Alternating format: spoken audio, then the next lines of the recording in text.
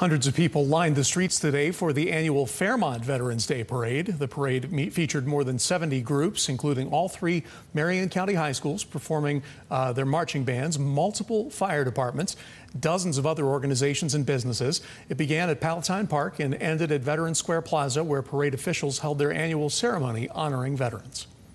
It gives me goosebumps at times, especially when I see the older vets, uh, World War II vets, some of the Korean, uh, Vietnam vets. So uh, it just gives me a good feeling to be able to help set this up to honor them.